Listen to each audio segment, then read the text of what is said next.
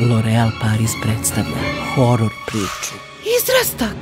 Došao je kraj izrastku. 3, 2, 1. Gotovo. Izvini, malo postanem psiho kad su sede u pitanju. Magic Retouch. Jer ti to zaslužuješ.